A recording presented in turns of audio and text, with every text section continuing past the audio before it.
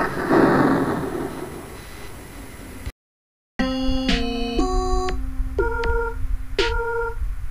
ばんは、おばちゃんです。今ね、街にさ、なんていうの、広告のトラックかなんか走ってるんだけど、よくさ、バイトで30億に夢じゃないっていう、あれ、えバイトで30億？え、そんなのにイケイケな仕事あんの？と思って。うん。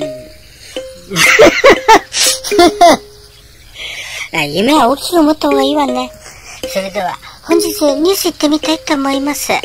監視お知らせなんですけども、小室家、帰国する理由をね、探し始めるという。あの、7月、まあ、末になるんだけど、なんか司法試験の受験するでしょ？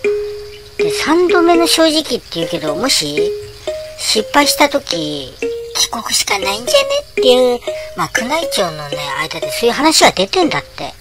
で、そういうシミュレーションも、今ね、現在行われてんだって。で、小室家ってさ、2018年に、フォーダム大学のロースクール入学する際にね、なんか、マイケル・マーティン奨学金を受け取ることになったんだって。で、その、なんか、まあ、一人に、なんか支給される学費に加えて、寮の家賃とか、書籍代など、支給額は年間ね、1000万円もね、上って、これ返さなくていいんだって。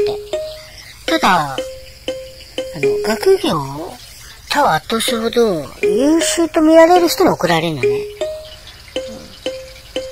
その、え、小室家って本当にもらってんの？っていう。え、それだけの実用が、え、ありました？んっていう声もね、やっぱり多いじゃ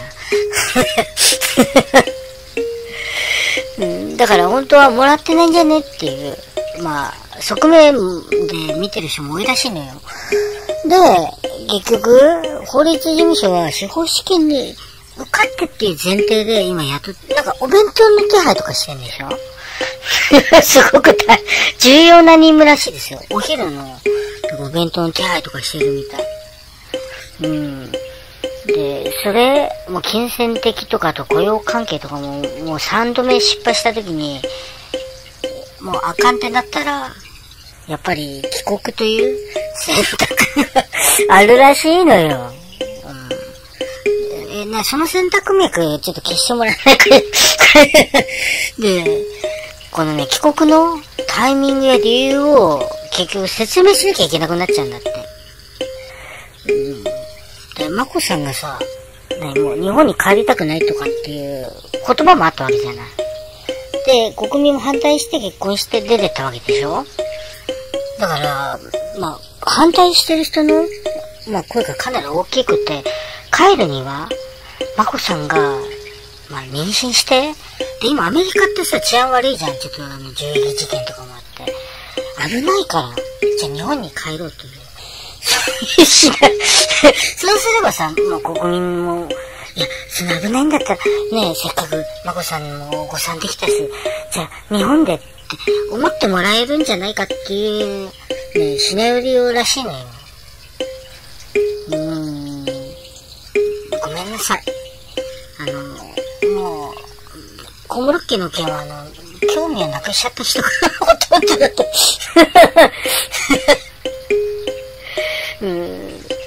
だ税金、あ、まだ、まだ使ってんでしょっていう。投入、投入ってんでしょっていう。まあ、そういう感覚かな。で、帰ってきて、批判の嵐にさらされちゃうと思うのよ。で、おばちゃんなりのね、まあ、もしシナリオを作るとしたら、うーん、なんだろう。おばちゃんなりになんかシナリオ。まず、おばちゃん思うんだけど、あの、投資家に転身するっていう、あの話どうなったのかしら？ねえ。あれ、あれ、あれはなかったことになってんの？うん、まあ、まあ、それだったらいいけど。うーん。なんかおばちゃんなりに思うことがさ、あと司法試験5点までっていう話あったじゃん。その証拠も出てないでしょ？本当に、あと5点っていうね、それもないわけだし。で、奨学金とかもらってるかどうかもよくわからないじゃん。うーん。おばちゃん、うん、まあそのことを踏まえて、もし日本に帰るシナリオを立てるとするでしょ？うーん。なんだろう？何から何まで、もうダメじゃないこのこと言うと申し訳ないんだけど、何から何までダメでしょう？ん。まあ、おばちゃんがもし、日本に帰ることを考えてる宮内庁の、なんかシナリオを立ててる、そういうチームの一人だったとするじゃない。うーん。おばちゃんならね、うん。小室24やる。それ何かっていうと、24時間、なんていうの、24のさ、ドラマあってさ、あんな感じで何が今、小室圭の周りで起きてるかっていうのをね、まあ放送すんのよ。で、見てるとさ、ダメなことの連続だと思うのね。なんか、例えばアメリカのスターバックスでコーヒーさ、注文するじゃん。で、え、 Thank you っつってさ、もらって、で、つまずいてこぼすとかさ、もう何から何までダメだと思うのよ。で、なんていうの、あの、あ、今、なんか、マスコミが今、あれ、多分そうだろ、カメラ見えたから、俺のこと多分撮ってると思うから、つってさ、新聞見てさ、俺だってあの、ニューヨークタイムズとかそういうの読んでんだぜってって、なんか逆さまだったりとかさ、そういう24時間の、その、この圭の生活を映して、ああ、こいつほんとダメだなっていう。で、見てるうちに、だんだんそれダメだなっていうのが、えーあの、なんていうの、まあ、しょうがねえよ、こいつっていう。流していくっていうのどうかしら。うん。いや、相当かかるよ。うん。下手したら10年かかるかもしれな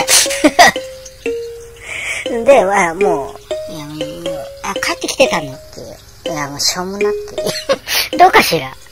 ショックを和らげるっていうクッション剤としてコム小室24どうでしょうか？おばちゃんこれ有効だと思うんだけど。もちろん、あの、舞台裏とかもさ、後半部分流して、でね、役者なんていうのかな？ドジ、ドジな、まあ、俳優さんとか、まあ出したってするでしょ？うん。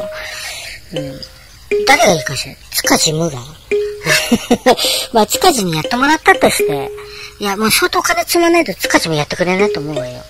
うん、相当金ぶっ込んで塚地にやってもらって、で、小室圭が、え？福山雅治じゃねえのかよっていう言葉をみんな見て、うん日本から出てけやって。あ、ダメか、結局。まあ、調子こいてんじゃねえよ。ゲラーっつってな、なっちゃうもんね。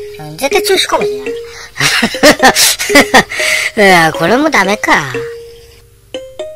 私をものにしたいなら、もっとズビビとくる相談をよこしてみなさいよ。男なら、それぐらいできなくてどうするの？そんなんじゃファンコは乾いたままよ。全然乾いたままなんだからね。東京刺激クラブでは、皆様のご相談をお待ちしております。